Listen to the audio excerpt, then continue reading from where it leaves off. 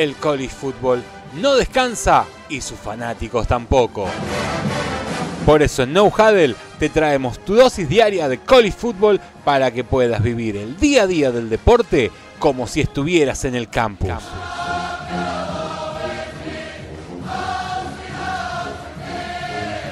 De lunes a viernes, Diario de College. Diario de College.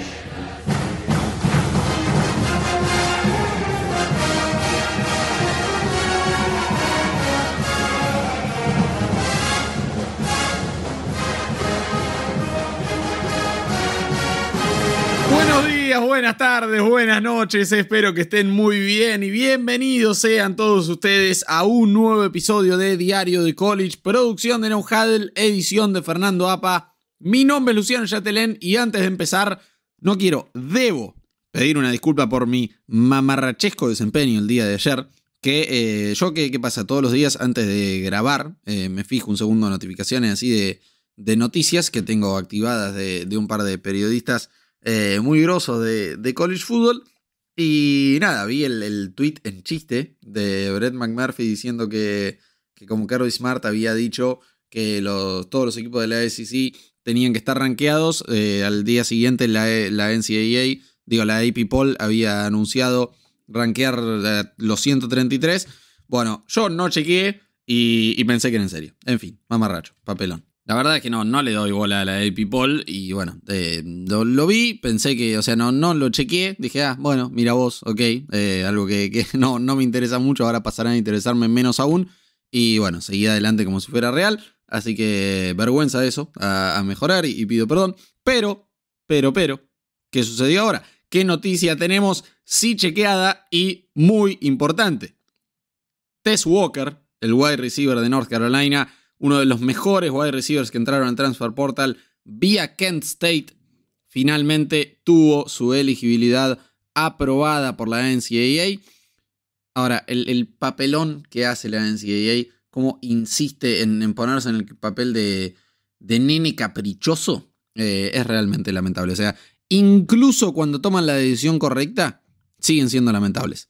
Dice, bueno, el comunicado el staff decidió o determinó que la nueva información califica a Tess Walker para una habilitación de su transfer. La información no había sido eh, hecha disponible anteriormente por North Carolina, a pesar de las múltiples oportunidades de la universidad de hacerlo. Y que dijo el presidente de la NCAA, Charlie Baker, si el staff de UNC no se hubiera comportado del modo en que lo hicieron y hubiera sometido esta información hace semanas, todo este eh, desafortunado episodio podría haber sido evitado. Mamá, hermanito. Después, bueno, apareció correctamente el Athletic Director de North Carolina, Baba Cunningham, diciendo estamos felices de que Tess Walker ahora está elegible para jugar y disfrutando de lo que ama hacer. Sin embargo, la justificación proveída por la NCAA el día de hoy no es precisa. La universidad sometió toda la información necesaria y documentación a medida que fue hecha disponible a nosotros al momento y todavía creemos que TES estaba eh, a la altura de todos los estándares, eh, o sea, cumplía con todos los, requisitos para la habilitación en, a principios de agosto. No está claro por qué la NCAA demoró tanto a hacer la decisión correcta entonces, pero estamos complacidos que ahora hayan tomado la resolución adecuada. En fin, eh, una excelente arma que suma Drake May y es ofensiva de North Carolina y realmente, bueno, creo que van a desbloquear un nuevo nivel, creo que van a querer todos mirar ahora a North Carolina a partir de ahora, porque lo escuchaba a Gio Biggers hablar justamente ayer en, en, conferencia de prensa que lo tuvimos, vayan a seguirnos a arroba NFL tanto en Twitter como en Facebook e Instagram, y ahí podrán encontrar la pregunta que le hice yo a, Gio Biggers. No, no fue esta de la que voy a hablar ahora, pero sí habló de la importancia de Tess en, la práctica y de cómo los estaba ayudando a, bueno, a los defensive backs y, y a la defensiva en general, y cómo realmente se notaba. Que, que, es un jugador diferente y un talento de NFL. Y tengan en cuenta que Gio Bigger sabe ¿eh? de lo que es ir en la práctica contra jugadores NFL. A George Downs lo estamos viendo teniendo mucho éxito eh, para los Indianapolis Colts. Y Antoine Green también era parte del equipo el año pasado. Ahora juega para los Detroit Lions. Entonces sabe de lo que habla y hablaba muy bien de Tess Walker, su talento y cómo se nota que es realmente un diferencial y una amenaza vertical impresionante. Así que, bueno, eh, gran noticia que finalmente se haya hecho justicia y que la NCAA haya dejado de lado su absurdidad, pero eso. Ahora sí, hablemos del el tema que quería hablar hoy. Y va a ser medio muy, muy engorroso y complicado de, seguir por momentos y les pido disculpas.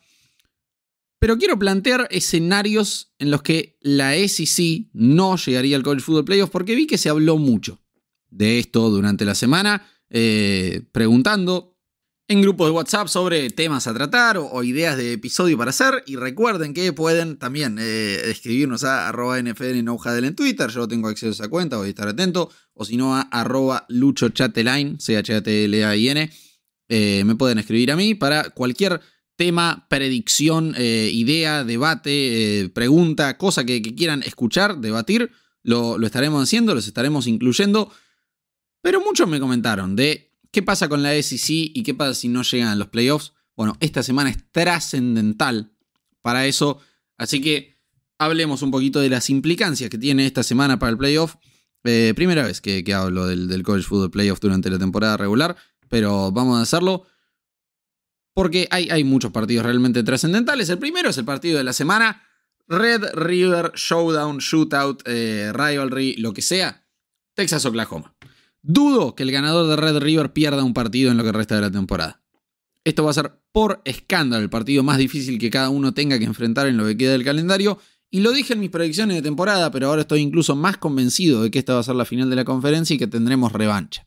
Así que Especularemos en estos escenarios con que el ganador del encuentro no tendrá más de una derrota en su haber. Ahora, los últimos tres campeones de la Big 12 tuvieron al menos dos derrotas en conferencia, no en total en conferencia, así que uno nunca sabe, pero veremos. Yo creo que ninguno de los dos va a tener dos derrotas. Analicemos escenarios.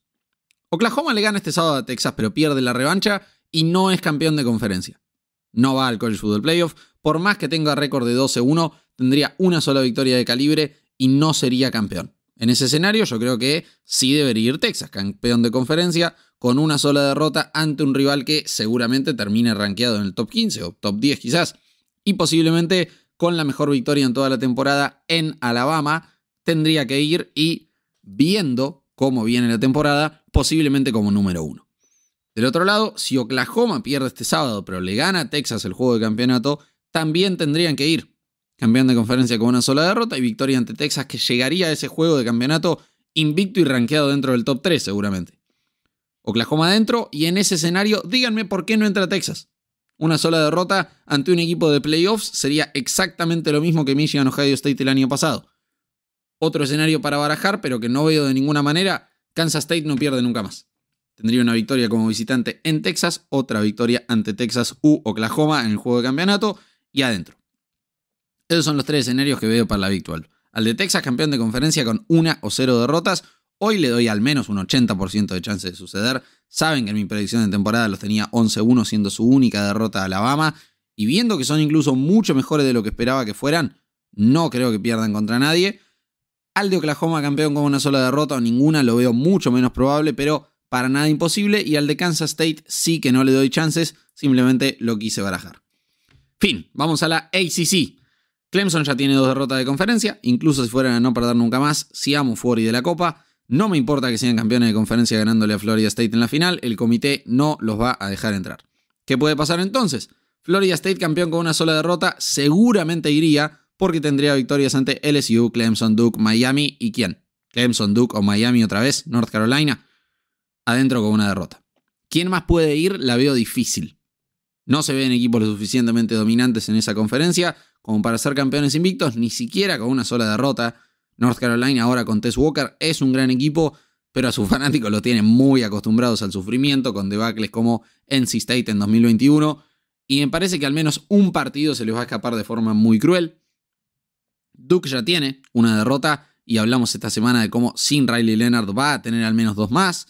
Miami después de esta semana inicia un trayecto de en North Carolina, Clemson, Virginia, at NC State, at Florida State, Louisville, literalmente imposible que salgan de ahí con solo una derrota.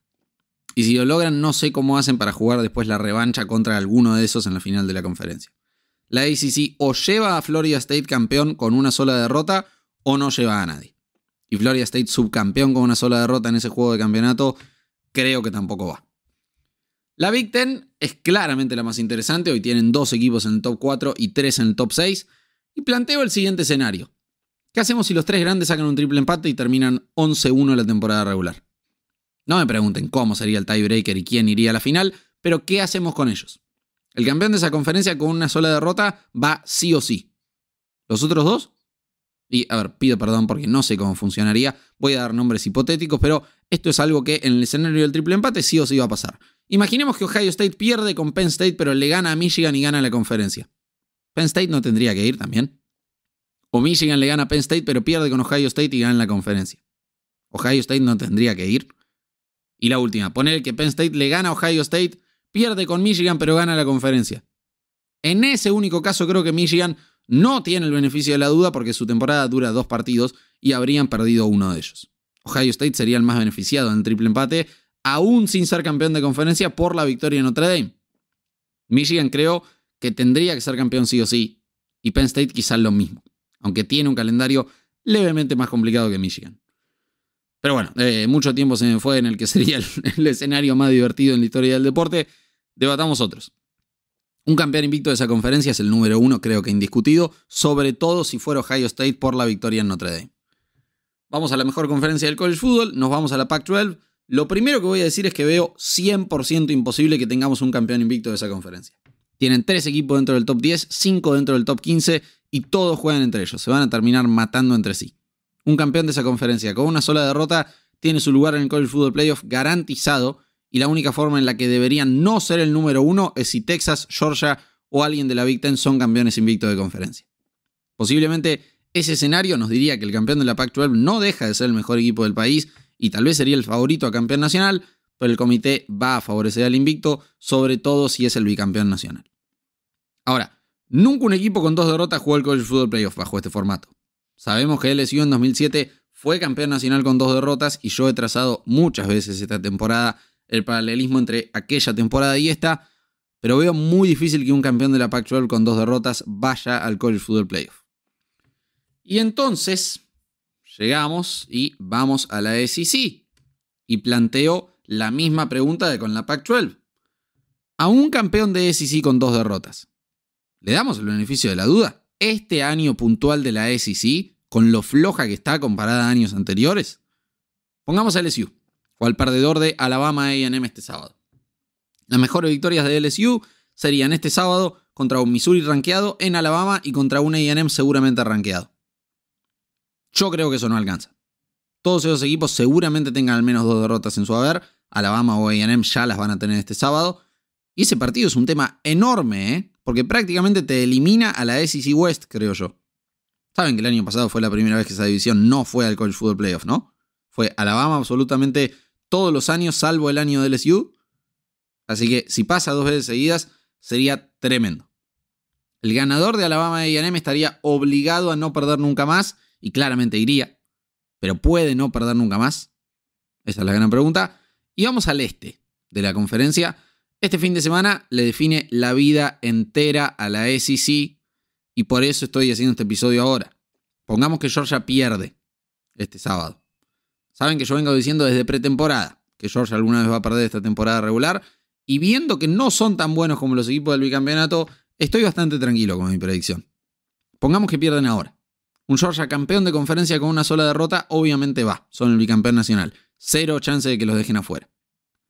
Un Georgia campeón de conferencia con dos derrotas no va ni a palos. El calendario es demasiado fácil y no se mostraron dominantes en ningún momento. O sea, siguen sin cubrir una línea de apuestas en ningún partido. No se ganan el beneficio de la duda. Afuera. Vamos con Kentucky. Si le gana Georgia, ¿cuántas derrotas va a tener? Le quedan Missouri de local la semana que viene, semana libre, Tennessee en casa, Alabama en casa y cierran en Louisville. ¿No ven al menos una derrota en todo eso? No son todos consecutivos los partidos, ¿eh? Pero ¿no ven al menos una derrota? Con otra extremadamente probable en la final de la conferencia. En Missouri, perdón, pero no confío ahora LSU y en Kentucky. Y después de un par de semanas tienen en Georgia y Tennessee consecutivamente. Pierden al menos dos y a otra cosa. Entonces, las únicas chances de la SEC para ir a playoffs son un Georgia campeón de conferencia invicto, que perdónenme, pero no la veo, o un Georgia, Alabama o AM campeón con una sola derrota. Y ahí analicemos qué tenemos. Un campeón de la Pac-12 con una sola derrota este año, este 2023, y olvídense de sus preconcepciones sobre ambas conferencias previas a esta temporada. En 2023 vale más el campeonato de la Pac-12. Campeón de la Big 12 con una sola derrota, sobre todo si es Texas, vale más. Sobre todo si el campeón del SEC es Alabama. Tenés el tiebreaker. Y en el escenario que Oklahoma pierde el sábado, pero le ganan la revancha a Texas y es campeón con una sola derrota, quizás valga más el de la SEC, pero es parejo. Entonces dijimos, campeón de la Pac-12 con una sola derrota y Texas campeón con una sola derrota. Vamos a la, a la ACC. Florida State campeón con una sola derrota. ¿No vale más? Probablemente sí. Tendrían muchas victorias muy importantes que ya enumeramos. No creo que el campeón de la ACC tenga una sola derrota de todos modos. Sea quien sea, para mí tendrá al menos dos, pero supongamos. Ya tenemos tres que yo creo valen más. Y el campeón de la Big Ten con una sola derrota, salvo tal vez que sea Michigan, que habría perdido el 50% de su temporada de dos partidos, yo creo que también vale más. Y listo, chau. Cuatro campeones con mejor currículum que la SEC y el College Football Playoff de cuatro equipos se despide sin su reina suprema, la SEC. ¿Creo que va a pasar? No. No, realmente no creo. Pero ojalá. Y quería hacer todo esto simplemente para reflejar la importancia de este fin de semana y cómo no se pueden perder los partidos de Georgia, Kentucky y Alabama, Texas AM. Previas de estos partidos las pueden encontrar en Redshirt Podcast, en cualquier plataforma en la que estén escuchando este episodio pueden, ahora que termina, ir a escuchar Redshirt Podcast para las previas que hicieron Dieguito y Dieguito Dupont y Albert Murillo de, de lo que serán. Y bueno, mañana estaremos nosotros hablando de esos partidos. Recuerden seguirnos en arroba NFL tanto en Twitter como en Facebook e Instagram. Visitar nuestra página web nohuddle.com.ar. Likeen, comenten, suscríbanse. Cualquier idea o predicción, sugerencia, eh, lo, que tengan ganas de agregar, lo estaremos haciendo y debatiendo. Muchísimas gracias por estar del otro lado. Abrazo grande para todos. Chau, chau.